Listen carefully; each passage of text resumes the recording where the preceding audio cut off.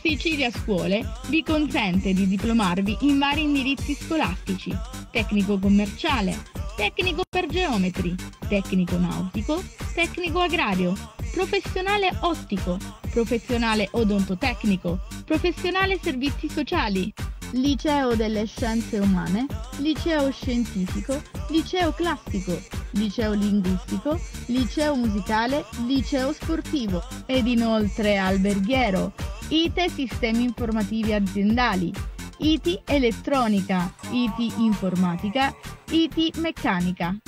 ERAP, Viale Leonardo Sciascia 232, Villaggio Mosè, Agrigento.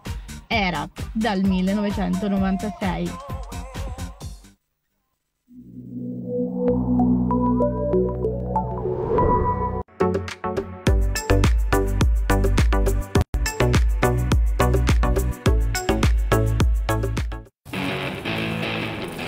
La vita si misura in momenti. Momenti dove l'anima incontra i sensi e l'istinto si risveglia.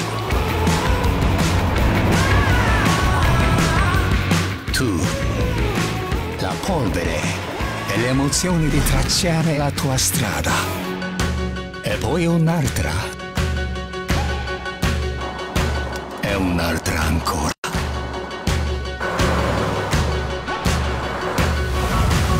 Non ci sono limiti. È la tua storia. Scrivila ora. Audacia. Azione. Avventura. Libertà.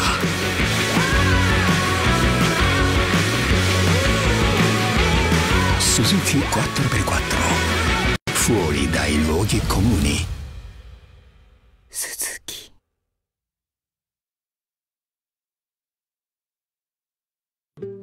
Pietro, Giorgio, la merenda. C'è un formaggio che col suo cuore dolce piace tanto ai bambini.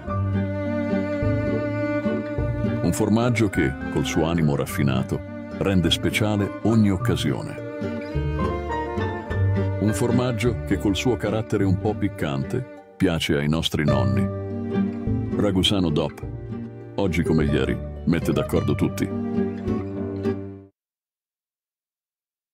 Finestre e clip. La grandezza del minimalismo. Più luce alla tua casa con le finestre e clip. Eclip, finestre ecosostenibili ad alte prestazioni energetiche.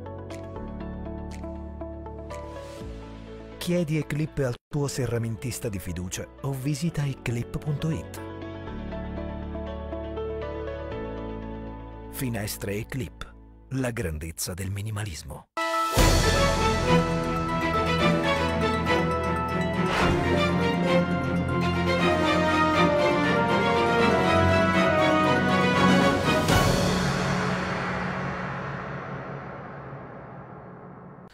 Bentrovati amici, l'appuntamento con l'informazione di Telebrea sul canale 89. Avete visto che belle giornate, Questo- questi ponti di primavera lo abbiamo già segnalato, non sono stati molto clementi dal punto di vista meteorologico, vento, eh, vento forte, il mare in pratica davvero impraticabile. Eh, e chi è andato per mare lo sa, per esempio ieri il collegamento da Malta eh, per eh, Pozzallo è stato abbastanza problematico, o meglio è durato molto, non c'è stato pericolo, però invece di un'ora e mezza, tre ore e un quarto, insomma capite che, che non è stato divertente. Molto vento lungo tutte le coste del canale di Sicilia, di meno nella zona dello Ionio. Non piove, ma, per- ma sembra che comunque nei prossimi giorni forse un pochino di pioggia lo farà anche da noi, ma il tempo non sarà eh, buono come vorremmo. Naturalmente quando c'è molto vento da noi scoppiano gli incendi, ormai è un fatto consolidato, eh, con il vento scoppiano gli incendi che sono anche abbastanza preoccupanti, ci arrivano le immagini che sono state mandate dalle, dalle squadre dei vigili del fuoco che stanno operando sul territorio, vi devo dire che la cosa più preoccupante è il rumore, qui non lo sentite, ma il rumore davvero, fa davvero paura perché stanno, sta bruciando un canneto, non è che, siano, eh, che stia, stia bruciando, bruciando, qualcosa di particolarmente importante, però capite che è molto eh, preoccupante, molto rischioso avvicinarsi e quindi si, si controlla. Eh, questi incendi ce ne sono tre o quattro in tutta la provincia, sono stati richiesti dai vigili del fuoco interventi di alte squadre da Palazzolo, ma anche l'intervento degli aerei perché continuando questo vento è difficilissimo fermare gli incendi. Ora io qualche giorno fa abbiamo detto che la squadra delle, dei forestali non sappiamo a che punto è, eh, però sarebbe importante considerare che eh, in questa stagione se non c'è chi controlla si rischia di fare un falò molto, molto grande. Comunque eh, sempre in bocca al lupo ai nostri vigili del fuoco. Abbiamo parlato la settimana scorsa del problema delle case di Pozzallo. Vi ricordate eh, quelle palazzine, ne vedete una, ma sono un po' tutte, sono 48 famiglie che abitano in questi appartamenti che a un certo punto sono state praticamente c'è stato fatto l'ordine di sgombero perché cioè l'ordine di sgombero di andare via perché addirittura sembra che queste case siano pericolanti che siano state fatte con cemento depotenziato, ammalorato e quindi eh, sono rischiose. E come avete visto c'è stato eh, polemiche, proteste in piazza, incontro alla, allo IACP in cui si è parlato di cosa fare. Il Presidente della Regione eh, sabato ha mandato un comunicato in cui ha detto stiamo valutando la possibilità di pagare noi, la Regione, gli affitti e i traslochi per le famiglie che sono costrette ad andare via. Anche lì mica è uno scherzo, un affitto per 50 famiglie, capite che cosa vuol dire? Eh, si parla di centinaia di migliaia di euro in, in un anno. Quindi la cosa è abbastanza, come si dice, difficile considerando eh, gli allusci, come si dice, eh, i chiari di luna, lusce luna che ci sono in questo momento alla regione, ma anche in tutti i comuni. Però Oggi è arrivata un'altra notizia. Questa notizia ce l'ha data l'onorevole Campo, che dice che però eh, Cocina, che sarebbe il capo della protezione civile eh, di, eh, della Sicilia, ha detto calma, no? non è che eh, ci siamo, siamo sicuri di questa eh, condizione così precaria, stiamo cercando di valutare e anzi chiediamo a prefetti e comuni di fare indagini più approfondite proprio per scongiurare ogni pericolo e quindi al momento eh, io direi, dice Cocina, di diciamo, cocciase e nesce, però è chiaro che non ha detto ve ne dovete andare tutti, quindi molto rumore per nulla. Io ho titolato un articolo su Rete Eblea proprio così, molto rumore nel, per nulla, cioè abbiamo fatto tanto schifio e ora dice no, ma che possono stare. C'è però una cosa che è preoccupante, perché il sindaco di Pozzallo, che ho chiamato per telefono chiedendogli di fare una, una dichiarazione, ha detto no, io dichiarazione oggi non ne faccio. Perché non ne faccio? Perché attenzione, Cocina, che sarebbe appunto il eh, responsabile della protezione civile eh, siciliana, non è che ha detto ritiriamo l'ordinanza di sgombero. Praticamente ha fatto a scarica barile. Dice io, secondo me, mh, mm, tutto questo pericolo non c'è. Però non ha detto io come protezione civile vi dico statevene tranquilli alle vostre case. Allora, siccome si tratta chiaramente di 250 di eh, 50 famiglie eh, che bisognerebbe in qualche modo, in qualche modo trovargli delle soluzioni e non sarà facile, eh? vi rendete conto, a parte che poi uno a casa sua, né? nelle sue comodità, nel suo mondo, eh, viene anziani, disabili, vengono sbattuti da qualche altra parte. Allora la cosa migliore sarebbe fare davvero in questo momento una specie di unità di crisi che faccia immediatamente, vuol dire già da domani, i rilievi che servono fare eh, quello che, che, si fa in questi casi, non lo so, ci vorranno dei sondaggi, bisognerebbe fare delle prove, eh, prove antisismiche, però eh, credo che sia la cosa più importante, dice, ma, mentre c'è la gente dentro, ma si elimina il discorso di mandarli via e poi vedere, perché voi sapete che nulla è più certo del precario dalle nostre parti ci sono precari che sono stati 50 anni precari, quindi ti immagini, mandate la gente in un altro posto e, e quelli prima che tornano a casa davvero ci vuole, possono crollare le, le case. Quindi questa è la situazione reale in questo momento e io vi dico le cose come stanno, l'informazione è questa. Coce è pubblicato su Rete Iblea, Coce l'ha detto, non è, non è Certo, prima verifichiamo e poi ne parliamo. A Matuna però ha detto, non mi hanno detto di ritirare eh, l'ordinanza eh, di sgombero, quindi che devo fare? Io quasi quasi provvedo. Questa è la situazione. Perché l'informazione oggi no?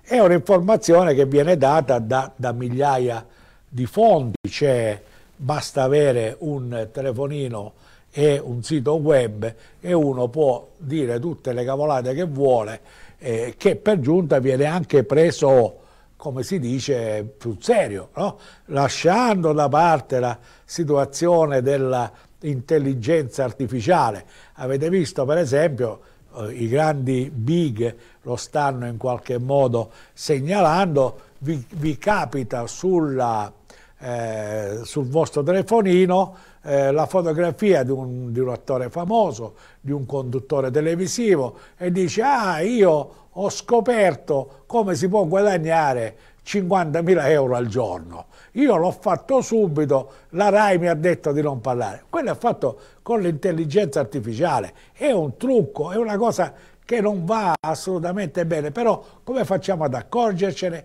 Questo è uno degli argomenti di cui si è parlato oggi alla provincia di Ragusa, nella sala convegni della provincia di Ragusa, ospite il presidente dell'Ordine dei giornalisti Bartoli, presidente nazionale dell'Ordine, lo vedete qua insieme anche al collega Antonio Recca che fa parte della segreteria dell'Asso Stampa. Ecco, il tema era proprio questo, la figura del giornalista oggi come oggi. Ma sapete cosa eh, cosa ravvivo, cosa, di, di, cosa mi rendo conto io, no? Che è come, è sempre una battaglia, è una battaglia fra il giornalista che è un dipendente e che quindi eh, ce l'ha a morte con l'editore, perché è pagato male, ce ne sono, alcuni sono strapagati, però quando è pagato male la colpa è dell'editore, 5 euro a pezzo, e qua e là. Allora, io dico questo, io sono un editore, no? ma sono un giornalista, ma siamo un editore, siamo un editore per finta, nel senso che noi siamo una piccolissima realtà. Ma voi pensate che se l'editore avesse la possibilità economica, perché bisogna fare il conto, quello che entra è quello che, che serve per pagare tutto quanto, la struttura, la cosa. E se l'editore potesse dare di più, io sono sicuro che lo farebbe. Sono sicuro che lo farebbe. Molte volte, escluso i grandi giornali. Gli editori addirittura ci rimettono i loro soldi e poi dice ah ma ci pagate tanto, ma se non volete farlo non c'è problema. Se uno non vuole scrivere per 5 euro a pezzo come fanno nei giornali, come la Sicilia, come gli altri, l'hanno detto loro, ah, l'hanno detto loro. Se non volete essere pagati a 5 euro a pezzo, lo scrivete. Che problema c'è? È così semplice. Allora, il problema è che invece bisogna rivedere questa figura del giornalista alla luce di quello che accade oggi, perché basta pensare che io mi posso ammazzare, posso fare quello che voglio, poi arriva uno che ha un gruppo eh, o ha 500 followers, 5.000 followers, 25.000 followers ed è praticamente, può dire tutte le cazzate, scusate, che vuole perché ci sono 25, 30, 40.000 persone che lo seguono, poi può fare la pubblicità al pesciaro, può fare quello che vuole senza pagare eh, niente, senza versare contributi, senza avere neanche una sede, senza niente e poi tutti invece i problemi sono del giornalista che può essere querelato. Che...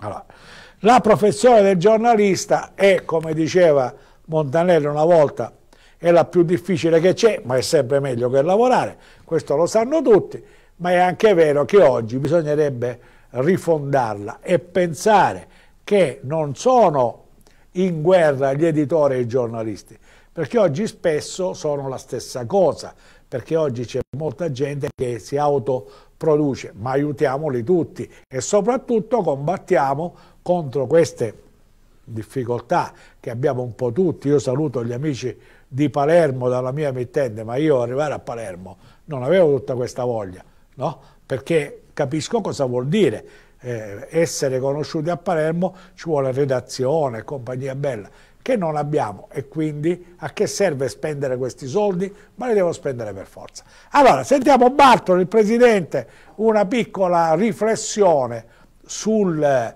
sulla professione giornalistica. Vediamo.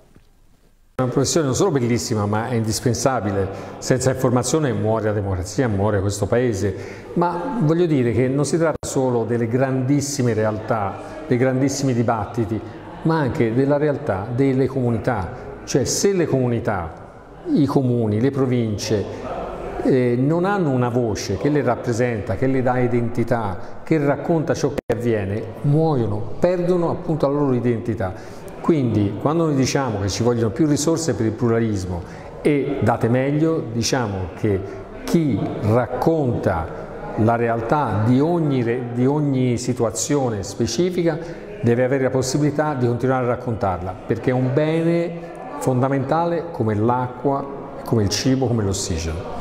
Però questa è una domanda particolare Presidente, vale di più un giornalista che magari è iscritto all'ordine da 20, 30, 40 anni o uno che ha 10.000 followers perché eh, scrive di, di cucina e però conta. Beh, non, è, non, può essere quella l'unica misura, anche perché poi, come abbiamo visto, eh, certi personaggi possono anche avere delle cadute rovinose, ma io non voglio poi riferirmi tanto a questo, quanto alla funzione, perché voglio dire, un attore, un cantante mi danno qualcosa di importante, eh, un momento di svago, di piacere, L'informazione è un'altra cosa, è più seria, mi dice come mi posso curare, di chi mi posso fidare, se devo pagare le tasse, come le devo pagare, cioè mi dà le informazioni per vivere, questa è un'altra cosa e quindi non deve essere né simpatico né carino né ammiccante, ma deve essere competente. Ci sarà ancora quindi il giornalista nel futuro? Ah, penso che se non dovesse esserci più sarebbe un disastro per la nostra società. Io non ci voglio pensare.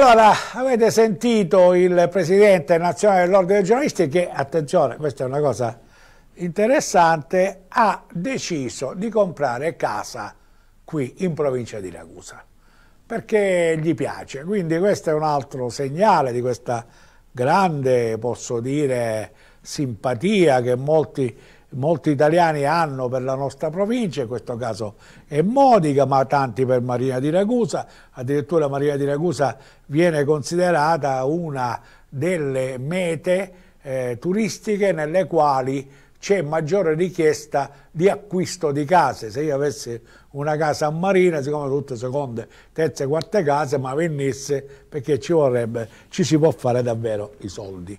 Ma mettiamo da parte la professione di giornalista, che vi posso dire che è una professione bellissima, ma oggi molto, molto difficile, come quella dei sindaci. Perché dico questo? Perché ieri c'è stata a Catania, alle ciminiere, la Kermesse, direi davvero un appuntamento regionale eh, dell'UMPRI, l'Unione delle Proloco, il comitato regionale che è riuscito davvero a portare al, alle ciminiere centinaia di persone, ma anche deputati, assessori, eh, tantissime, eh, tantissime personalità, tutte a testimoniare l'importanza delle proloco, la, lo scopo delle proloco è quello di intervenire nell'ambito turistico a supporto delle, delle, eh, delle, amministrazioni comunali, a supporto dei sindaci, a supporto anche di tutte le organizzazioni turistiche per, per aiutarle nella, nel fare, che vi posso dire, eh, itinerari e compagnia bella. E quindi devo dire che eh, eh, è stato sancito, certificato questo ottimo momento delle prologo che devo dire eh, dipende proprio da questa persona che vedete, da, da Nino Laspina, eh, presidente nazionale delle Proloco eh, siciliano, presidente della Proloco di Sant'Affio, o comunque viene dalla Proloco di Sant'Alfio, è stato riconfermato presidente regionale e ieri c'è stata tutta una serie di eh, appuntamenti per eh, la migliore sagra, per il migliore filmato, per eh, le, le, migliori degustazioni che come vedete poi sono state, come è giusto che sia, ogni volta c'è sempre lo schiticchio finale e ci sono delle cose eh, molto buone, la Calmuto, ma c'era chiaramente ogni provincia aveva il suo stand con, eh, le, eh, con prodotti del territorio buoni, buonissimi, eh, oli, vini, arancine, pane cunzato, tutto c'era naturalmente per far capire al a tutta l'organizzazione che le Prologo sono una grande realtà. Bene, a questo punto però, ecco, fermiamoci, torniamo un attimo alle immagini della, della, delle Proloco. C'era tra l'altro l'assessore al turismo Amata. E, e questo ecco, era l'appunto che facevo io. Eh, l'assessore diceva che oggi fare il sindaco è faticoso, no? Ma è meglio che lavorare, è un po' come i giornalisti. Fare il sindaco è chiaramente una cosa di grande impegno in quelle realtà dove fare dove non ci sono soldi, non c'è personale, non c'è organizzazione, perché molti comuni sono così, ma non per colpa loro, perché mancando i soldi non c'è il personale, non puoi fare i servizi, non puoi fare le cose. Pochi sono i comuni che possono vantarsi come quello di Ragusa, senza offesa, dire che poi, insomma, lì bisogna anche vedere col sindaco, come quelli di Ragusa che eh, dice che eh, invece va, va tutto bene. L'assessore Amata ha invece nel suo discorso parlato dei sindaci ringraziandoli per il lavoro che fanno e ringraziando anche naturalmente la Prologo. Questo intervento, tre minuti dal palco, l'assessore Amata. Presidente potrei evitare di fare il mio intervento perché sposo appieno quello dell'amico Mario, segretario generale dell'ANCI. Perché Mario dice intanto un saluto particolare ai sindaci che sono presenti che io definisco degli eroi. Ieri sono stata in un paesino della mia provincia, 1200 anime, e dicevo al sindaco che ogni giorno è sul campo, è in trincea, solo amore e passione ti può fare dedicare a, a questo lavoro enorme, di, pieno di criticità, altro che l'ostacolo quello, gli ostacoli che superano ogni giorno i nostri sindaci sono davvero importanti, lo fanno con amore e passione.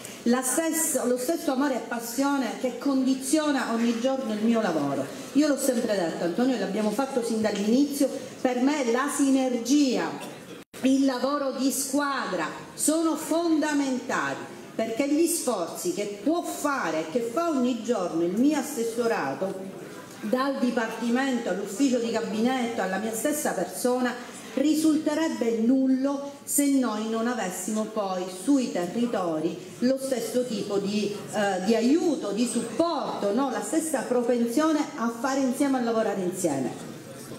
Stiamo lavorando su diversi fronti, perché oggi dobbiamo parlare non di turismo ma di turismi, nel senso che il turismo, che è la vera industria di qualsiasi regione, cioè quella che può che creare sviluppo economico e soprattutto generare occupazione, viene declinata in diversi modi. Abbiamo il turismo enogastronomico, ne abbiamo parlato e abbiamo un appuntamento importantissimo nel 2025 abbiamo il turismo eh, delle radici, abbiamo il, eh, il, il cineturismo, l'hai citato tu poc'anzi, abbiamo diversi modi di portare e di diventare attrattori turistici e lo stiamo facendo. Io portando le azioni che vengono dal territorio, le portiamo alle fiere, partendo dalla BIT che è il primo appuntamento, l'appuntamento più importante, ma anche poi a livello internazionale. Io di recente sono stata a New York al consolato dove abbiamo oh, eh, incontrato Intanto abbiamo fatto una giornata di incontri tra i nostri tour operator e quelli americani ed è stato davvero importantissimo perché c'è un grande interesse da parte di questo mercato americano di, di venire in Sicilia. Viene individuata la Sicilia ormai negli ultimi due anni, davvero il mercato americano è aumentato di circa il 50% e a cosa lo dobbiamo? Al cineturismo, a The White Lotus che ha creato un interesse incredibile. Insomma, eh, l'assessore ha detto quello che era giusto si dicesse, però ha fatto anche delle considerazioni che non mi sono piaciute molto, come per esempio questa storia del Sicily. Ora sta accadendo che eh, c'è una eh, crescita del turismo dalle nostre parti che io credo che non sia frutto dello straordinario lavoro che è stato fatto nel passato col Sisali che ne abbiamo spesi soldi che poi sono serviti eh, a ben poco, ma la verità è che sta accadendo eh, un fatto che la gente riguarda di nuovo al proprio territorio.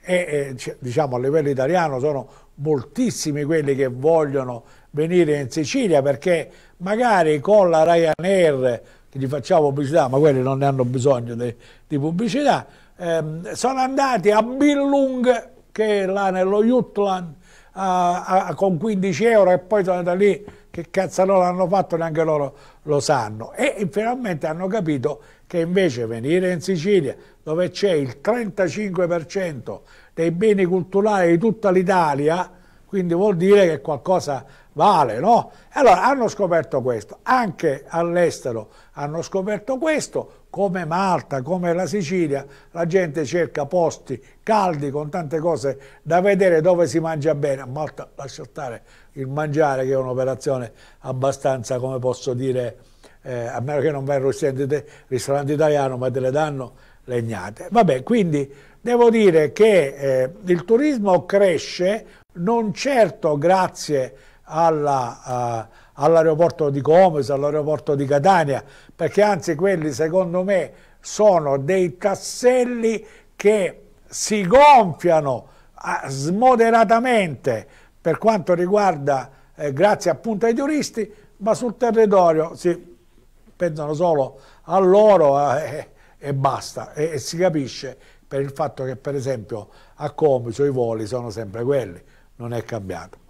Detto questo ci spostiamo a Ragusa. Per un attimo, facciamo riferimento al turismo perché oggi è stato presentato eh, un servizio di car sharing, eh, praticamente si tratta di due auto no? che sono state messe a disposizione in collaborazione con una casa automobilistica eh, rosso crinite come si vede che hanno un posteggio particolare in, eh, in Corso Italia di fronte alla, alla cattedrale, al lago, al lato della cattedrale e queste auto praticamente si possono affittare, eh, insomma come con le biciclette, come con eh, i cosi velocipedi là, per un prezzo di 6 euro l'ora oppure di 40 euro al giorno. Vi devo dire che 40 euro al giorno è una bella cifra perché se voi andate in qualunque eh, affittauto ve la danno per 40 euro con tutta l'assicurazione e tutto quanto e non hai la preoccupazione di riportarla nello, nello stesso posto. Io non so se il servizio ce n'era bisogno da noi, me lo chiedo. Secondo me no, perché già il territorio è così pieno di eh, possibilità, stanno crescendo, ora lo sentirete, che non ce n'era bisogno, anche perché ci sono persone che svolgono un lavoro in questo settore che così lavoreranno sempre meno. Ora dice, ma sai, l'innovazione, va bene, io vi, vi ricordo che qualche anno fa questa storia dell'innovazione, quando arrivarono i centri commerciali, vi ricordate? Noi lo avevamo detto, guardate che con i centri commerciali molti perderanno il lavoro, le aziende, e dissero, ah, ma l'innovazione, che possiamo fermare il, il, futuro, che possiamo fermare il progresso. E io sono d'accordo, fermiamo il progresso, anzi non fermiamo il progresso, ma lasciamo tanta gente che non lavora. Quindi su questo io ci penserei. Questo servizio a me sembra che non ce n'era tutta questa necessità, oltretutto probabilmente in fase sperimentale, ma non c'era tutta questa necessità. A chi giova non lo sappiamo. Invece eh, a chi non giova, siamo, eh, lo siamo sicuri, siamo sicuri di questo, sono i tassisti della città di Ragusa. Ne abbiamo uno in studio, vediamo. Questa è Teleiblea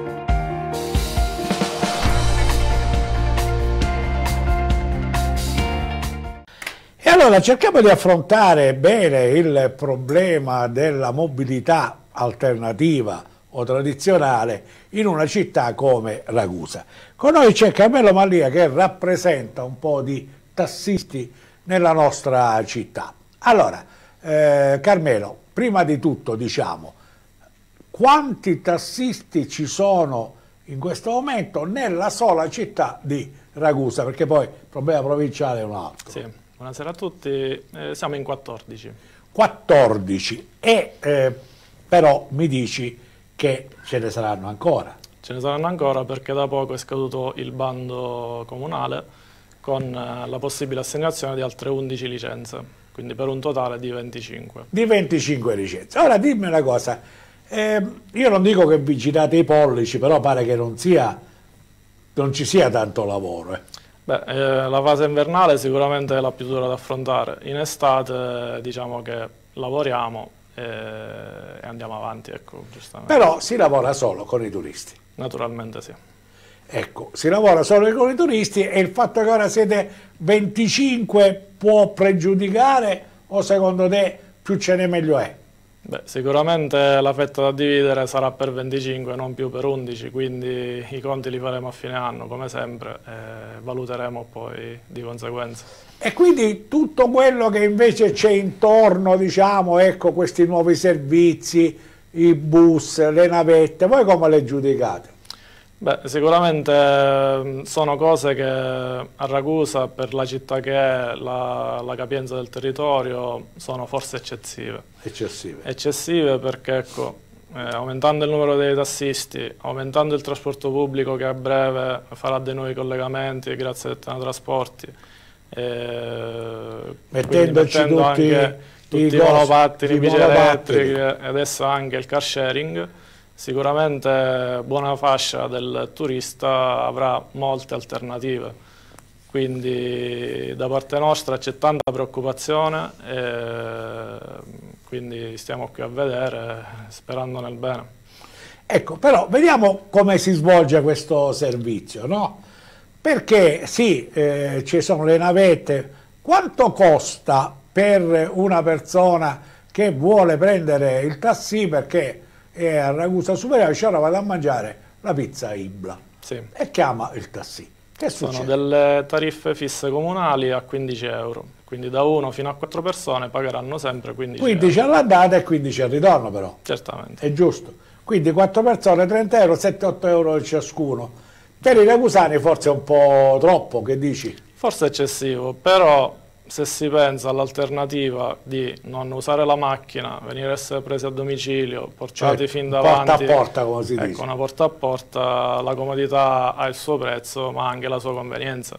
Molti ragusani hanno paura ormai di scendere a Ibla perché c'è la ZTL, perché non trovano il posto, perché lasciano la macchina e la porta via il carro attrezzi. Tante e tante volte ne abbiamo portati noi per recuperarle alla zona artigianale. Quindi sì, per noi è lavoro, però a discapito del povero ragusano, anche turista che non capisce la segnaletica a volte. Sì, però ecco, cosa potreste fare voi per combattere, sempre nel senso della libera concorrenza, del servizio Certo. migliore? Cosa si può fare? Per esempio, per invogliare il ragusano, non so, si potrebbe fare una tariffa speciale per Beh, i sicur- residenti? sicuramente, sicuramente si può fare qualcosa per il locale. Eh, Magari ci dovreste pensare un attimo. La stiamo già valutando perché tramite Radio Taxi stiamo aprendo altri orizzonti e quindi siamo molto propensi anche a divulgare la cosa anche al locale, non solo al turista. Eh, magari uno per, per il- in un certo orario gli può fare per andare giù a Ibra si può scendere la tariffa perché se non sbaglio una volta era 10 euro. Sì, adesso da marzo c'è stato questo momento. Eh, però questo vuol dire un aumento del 50%, insomma, non è che Purtroppo ci siamo dovuti adeguare diciamo, al territorio perché l'inflazione c'è stata in questi anni, erano tariffe ormai obsolete di più di 11 anni, eh, quindi purtroppo il Comune eh, peccava in questo. Noi abbiamo fatto tante richieste durante gli anni e adesso finalmente da marzo è stato approvato questo nuovo tariffario con regolamento. sì, però il comune vi approva il tariffario, però quando voi gli dite guarda che forse le licenze sono troppe, non vi hanno detto niente. Purtroppo, purtroppo no,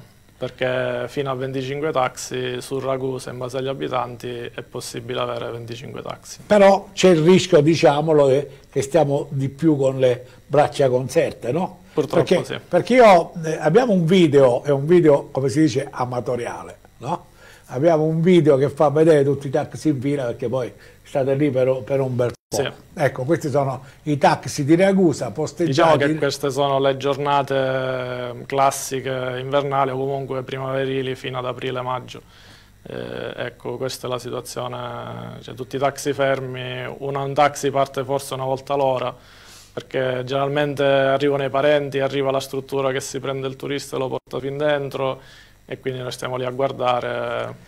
E quindi, quindi bisogna fare proprio questo, un po' di lavoro in più per, per invogliare i, i ragusani. Però ecco, andiamo a vedere, anche ormai stiamo facendo questo spot promozionale Sì. per i tassisti che sono una categoria importantissima in una città dove in verità non li usiamo tanto, Eh, siamo eh, un po' tutti colpevoli. Ecco, eh, però noi abbiamo il fatto che se uno deve andare a Catania, ne- per forza il tassì ci vuole. Eh. Eh, ma qua, quanto costa più, più o meno? Non so se mi vuoi dare. O avete delle tariffe Per gli aeroporti standardizzate? abbiamo le tariffe standard, quindi Ecco. tariffe fisse, per aeroporto Comiso 45 e aeroporto Catania 150. 150, quindi anche quello è un po' aumentato. Però mi Sì. dicevi che praticamente da Catania costa di più. Sì.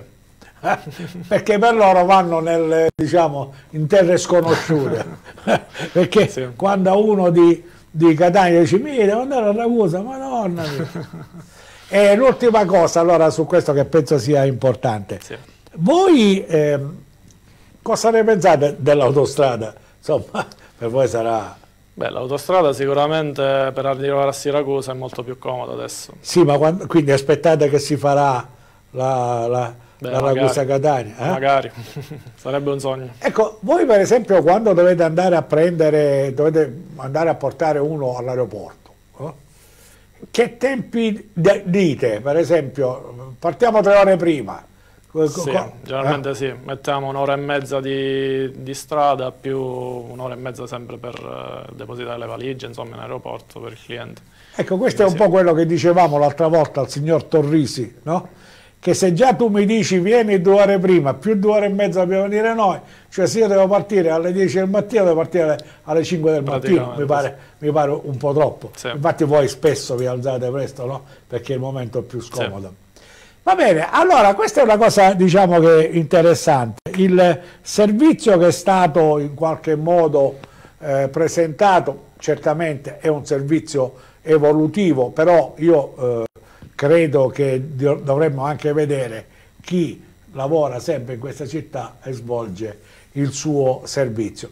Quindi chiudiamo facendo un appello ai ragusani, usate un po' più i taxi, Certo. però anche voi fate un sistema per poterli utilizzare meglio. Certo. Va bene, allora grazie Carmelo Mallia, a voi. responsabile, rappresentante di- di- dei tassisti ragusani.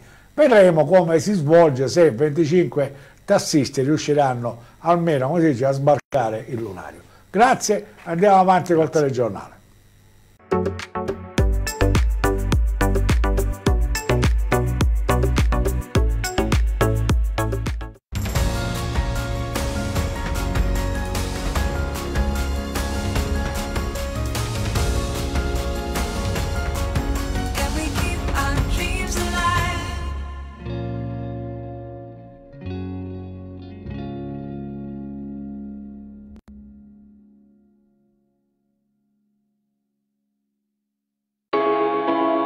Dona il tuo 5 per 1000 al centro risvegli Ibleo Onlus.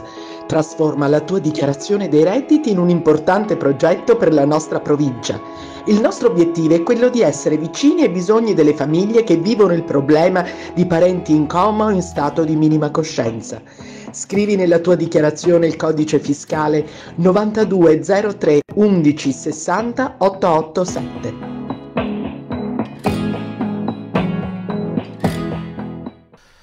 Questo è quello che pensano i tassisti della città di Ragusa. Attenzione, come dicevo prima, è chiaro che le innovazioni si devono in qualche modo eh, prendere in considerazione, ma probabilmente quando eh, a Ragusa ci sarà un buon servizio di pullman, già abbiamo questi motorini qua, questi calacipedi che lasciano da qualunque parte, è anche brutto nella, nella città, io credo che sia più che sufficiente. Di questo forse non ce n'era bisogno.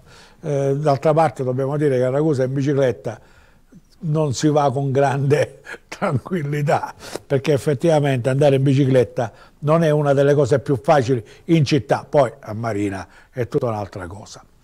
E allora, ehm, torniamo ancora a parlare del Comune di Ragusa perché oggi c'è stato Consiglio Comunale che però, eh, almeno al momento di andare in onda, prima de- delle 21, di registrare il primo telegiornale, eh, era eh, in sospensione per mancanza del numero legale, perché poi, voi sapete, c'è qualcuno che esce e mancavano alcuni consiglieri, uno dice come mai mancano quelli, eh, quelli che, eh, diciamo, i tre che sono un po' sempre, eh, sempre distaccati dalla maggioranza, ma sono dentro la maggioranza. No, mancavano alcuni, per cui il Consiglio Comunale oggi ha avuto qualche difficoltà, ci sono state delle richieste abbastanza ehm, chiare, per esempio sul problema dei compatibili o gli incompatibili per quanto riguarda il voto per il piano regolatore, però il sindaco non ha risposto su questo e quindi siamo rimasti un po' a, a capire, forse ancora stanno studiando, perché voi sapete che mancando uno o due eh, consiglieri che vengono riconosciuti incom- incompatibili, oltre quelli che già sono incompatibili, c'è il rischio che il piano regolatorio non possa andare in consiglio comunale, dovrà essere approvato da un commissario. L'altra cosa di cui ci si lamenta è questa storia della visita nella vallata Santa Domenica. Eh, a farne, a, così a, a segnalarlo, è il consigliere Firringeli che dice ma questa associazione direzione d'accusa che è quella del sindaco che vuole fare queste visite, che ha già rinviato per il maltempo, che non può andare eh, in certe zone perché ci sono i cantieri, non potrebbe aspettare. Io dico, facciamo in modo che questo lavoro venga concluso tutto e così effettivamente si può incominciare a eh, visitare, a fare progetti su come si deve visitare la vallata, che sarà sicuramente una bellissima cosa. Noi ne abbiamo sentito parlare dall'assessore che è venuto qui in studio, ci siamo un po' come posso dire, non preoccupati, abbiamo detto ci sono tanti soldi spesi e questi sono altri 7 milioni e già ne avevamo spesi, insomma la vallata ha un costo, a questo punto dovrebbe essere così fruibile come se fosse una, una sala da tè, diciamo, comoda con le poltrone, dovrebbe essere un posto particolarmente bello, cosa che a quanto pare così non è. Allora Firingeli lo eh, richiede. Allora eh, diciamo che ne parleremo nei prossimi giorni, ora c'è il primo maggio e poi si entrerà nella campagna elettorale per le europee, già avete visto quanti movimenti ci sono. Invece io chiudo con le immagini di San Giorgio di Modica. Voi sapete che a Modica la festa si svolge la prima domenica dopo il 23 di aprile, che è la giornata, la festa di, di, di San Giorgio, cioè è proprio la ricorrenza di San Giorgio. A Modica naturalmente è, è il copatrono come, perché anche loro hanno lo stesso problema, perché l'altro patrono sarebbero Pietro e Paolo, queste sono immagini che abbiamo preso da, da internet della uscita di San Giorgio e poi la tradizionale corsa avanti e indietro eh, sul sagrato e devo dire che è sempre una bellissima immagine, eh, ci vuole molto coraggio, l'altra volta abbiamo parlato con i portatori che sono molto preparati, molto attenti perché sanno come si deve gestire questa statua che pesa, pesa, ma che soprattutto è portata a spalla da tante persone, se non camminano tutti con lo stesso passo si, si capisce che potrebbe essere davvero rischioso. Vi ricordo che la festa di San Giorgio invece a Ragusa si farà a fine maggio, 25, 26, 20, 27 maggio e noi stiamo preparando una trasmissione che si chiama Aspettando San Giorgio Ehm, è un programma settimanale che poi lo possiamo anche ampliare, non è un grosso problema, si tratta di mettere insieme tante notizie sulla festa e anche eh, dal punto di vista dell'organizzazione, di appuntamenti e ha come sponsor naturalmente il Comune di Ragusa e altri sponsor locali. Di questo ne parleremo eh, di più nella prossima settimana dopo che faremo le prime registrazioni e decideremo di mandare in onda praticamente ogni venerdì sicuramente, ma poi anche faremo una, una registrazione anche di più, delle, faremo altre, altre, diciamo, manderemo in onda più volte questo programma che si chiama appunto Aspettando San Giorgio. Bene, grazie appunto regia per queste immagini. Ora eh, parliamo di sport perché è stata una giornata però non molto fortunata per le nostre squadre, per le squadre ragusane. Questo eh, capita ogni tanto, c'è quando va bene e c'è quando va male. Gianni Papa quindi ci parla di sport, io vi ringrazio per la cortese attenzione, noi ci vediamo con le prossime edizioni. Ciao a tutti.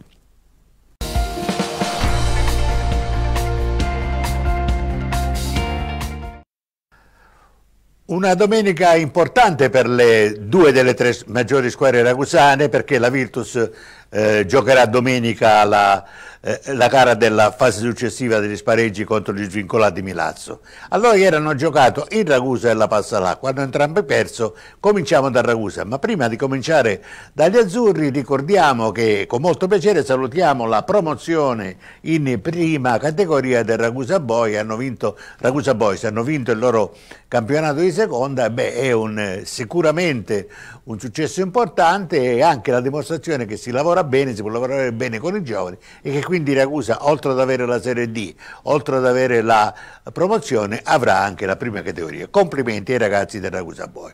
Dicevamo del Ragusa, a Sant'Agata c'era in palio la possibilità dei playoff per quello che possono valere. Ora, io ho sentito qualche minuto della telecronaca, il, il, il cronista, telecronista di Sant'Agata ne parlava come se andare ai playoff fosse come andare in semifinale o finale di Coppa dei Campioni sempre supponendo che ci si arrivi, sono una cosa abbastanza inutile, forse il termine esatto è quello, perché, ripeto, io non ricordo di squadre promosse alla serie successiva, nel caso particolare alla serie C, grazie ai playoff, ci sono, ci sono alcune, alcune sono state promosse per vari motivi, ma nel quale il fatto dei playoff era molto relativo. Comunque, il Ragusa ha perso l'occasione di poterci andare per un rigore nato da una da una papera difensiva colossale, da uno sciagurato passaggio indietro, il rigore a mio avviso era anzi molto discutibile, comunque è stato battuto, è stato messo a segno, poi Ragusa ha provato a rimontare onestamente senza dannarsi l'anima,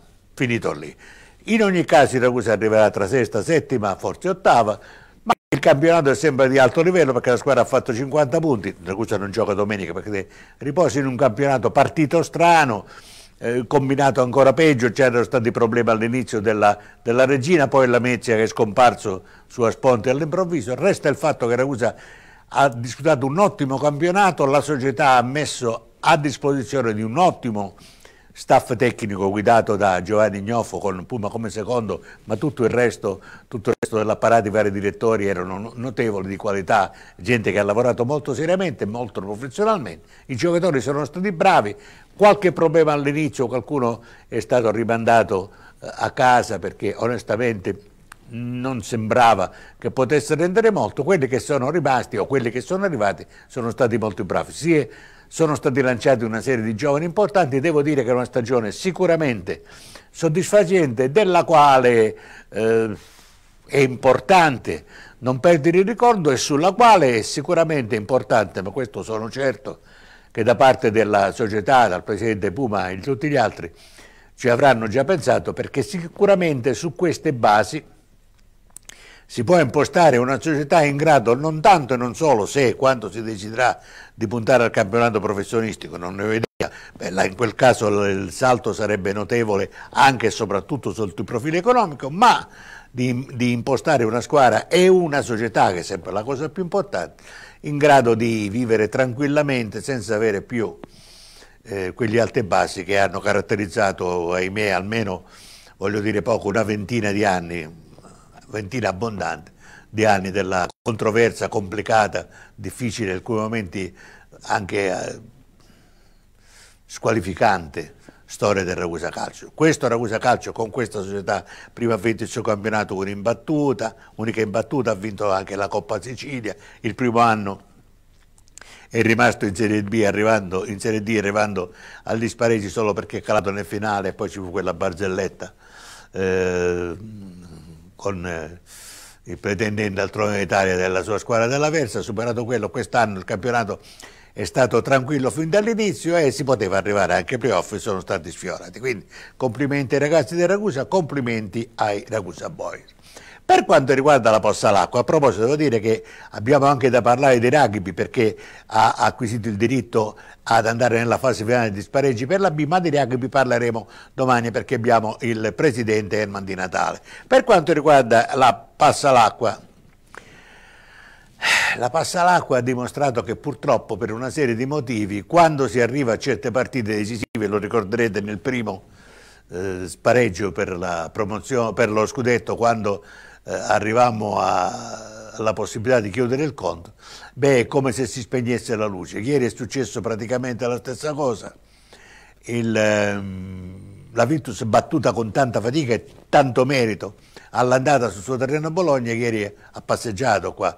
E Ragusa non, non è praticamente mai stato davvero in partita, tranne che in qualche momento in cui si è ravvicinato fino a 7 punti, è partito eh, 12 sotto, poi sono arrivati addirittura 22 punti di scarto, ma questi possono avere, lasciano il tempo che trovano. Purtroppo invece siamo costretti ad andare a gara 3, quando si sarebbe dovuto e provuto provare a, e si sarebbe dovuto provare proprio a chiudere i conti qua. Tra l'altro ancora una volta è mancata Laura Spreafico e i controavversari invece che hanno eh, visto ancora gente come Cecilia Zandalasini, elemento fondamentale, giocare ai suoi livelli, quando, tu, eh, quando a te manca una giocatrice come la capitana della nazionale, quando una supercannoniera come eh, la Cidom fa solo tre punti, vuol dire che è proprio che è la giornata che non va. Purtroppo è stato così, però, come dice giustamente Coscerino Lardo e il suo vice romano, come, dice, eh, come dico la giocatrice e come dice tutto l'ambiente, partita finistra, finisce quando finisce, quando l'arbitro fischia, diceva Vucedin Boscov, quindi riandiamo a Bologna, le abbiamo già battute una volta, possiamo, dobbiamo provare a farlo di nuovo. Certo, non sarà facile anche perché ora loro ci hanno sgamato sotto certi profili, ma mm, spero, penso e spero che loro possano eh, pensare che il discorso è chiuso. Credetemi, non lo è. La passa l'acqua non 7 ma 27 vite, quindi ne ha tre volte più dei gatti e se e quando le sue giocatrici giocano anche contro una squadra formidabile, che c'è gente davvero di livello stratosferico, sono in grado di eh, dire la rolla, l'hanno già dimostrato battendo due volte Bologna a casa sua. Quindi staremo a vedere, certo il dispiacere rimane, certo l'occasione era ed era grossissima. Schio può anche avere, aveva già, eh, già da prima di questa partita prenotato il pullman per Bologna, secondo me è stata lievemente in anticipo sui tempi, ma eh, sarebbe bello che così fosse dimostrato. Al momento è solo una speranza. Resta il fatto che onestamente ieri la Passalacqua ha, ha reso molto meno delle attese, è come se si fosse trovata bloccata e quando era riuscita a scendere a sei punti, era- si era riportato a otto punti dall'inizio del terzo tempo entrando dal riposo lungo, ma quando tu dopo un minuto e mezzo eh, vai da 8 cali di nuovo a 16, quindi vuol dire che c'è qualche cosa che non va e di fatti poi tutto il resto della partita è stato un, un proseguo sulla stessa falsariga. Poco male, diciamo, facciamo finta che sia poco male, comunque prendiamone atto anche perché non avremo altro da fare. Si gioca domenica, eh, anzi si gioca il primo maggio e via- e sono certissimo che Milazzo e compagni, mi auguro ci possa essere anche Lauro Sprefico, non lo so, venderanno non cara ma carissima la pelle. Questo è l'augurio della- di tutti gli sportivi di Ragusa, eh, qualunque, qualunque sia il loro sport e credo anche un po' di tutta la Sicilia, perché resta il fatto, al di là di tutto, che mentre nel campo della pallacanestro abbiamo e abbiamo altre realtà siciliane validissime, e la Virtus è sicuramente una di queste, ricordo che la Virtus gioca domenica, nel campo della pallacanestro della maschile, nel campo della pallacanestro femminile la passa l'acqua è una e sola, è il faro e sarebbe molto bello che questo faro potesse continuare a splendere. Staremo a vedere, per il momento vi saluto.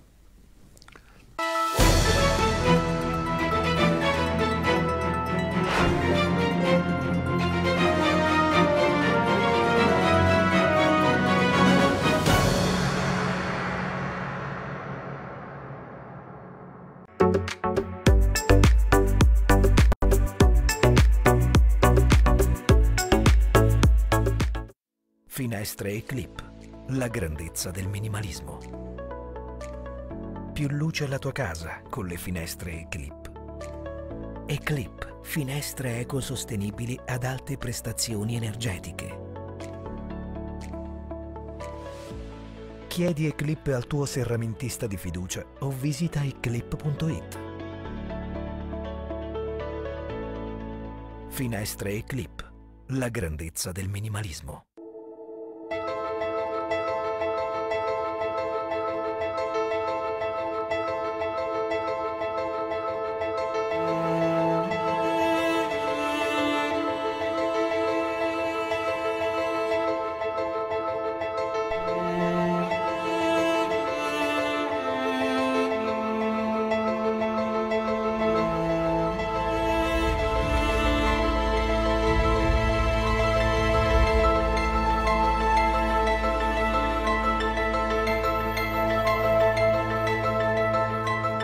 Banca Agricola Popolare di Ragusa. Una storia orientata al futuro. Fattoria delle Milizie, un luogo dove si rispettano le tradizioni più genuine per offrire prodotti di qualità e comfort. La Fattoria delle Milizie, che si trova a Scicli a 500 metri dal convento della Madonna delle Milizie, grazie al suo allevamento di capre è specializzata nella produzione di formaggi caprini, biologici al latte crudo. Alla fattoria puoi trovare i sapori tipici del territorio, come l'eccellente olio extravergine d'oliva estratto da piante autoctone.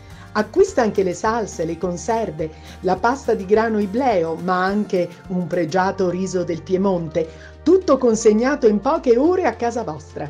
Alla Fattoria delle Milizie si può anche pernottare in accoglienti camere matrimoniali, triple o familiari.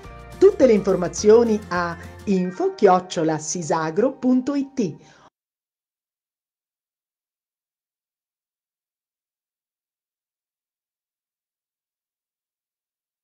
Osservatorio sportivo è offerto da Ecogreen. Risparmia sulle bollette di casa con le offerte del mercato libero.